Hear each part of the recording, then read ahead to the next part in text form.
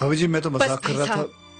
एक मिनट लगता है रिश्तों का मज़ाक उड़ाने में और रिश्ते बनाने में। जिंदगियाँ गुजर जाती हैं।